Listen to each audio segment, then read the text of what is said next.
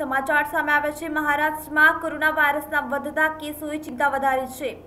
વર્ધામાં છત્રીસ કલાક સુધીનો કરફ્યુ કરવામાં આવ્યો છે. પેટ્રોલ પંપ પણ બંધ રાખવામાં આવ્યા છે. આગામી આદેશ સુધી શાળા, કોલેજ પણ બંધ રહેશે. મહારાષ્ટ્રમાં કોરોના વાયરસના વધતા કેસોએ લોકોમાં ચિંતા વધારી છે.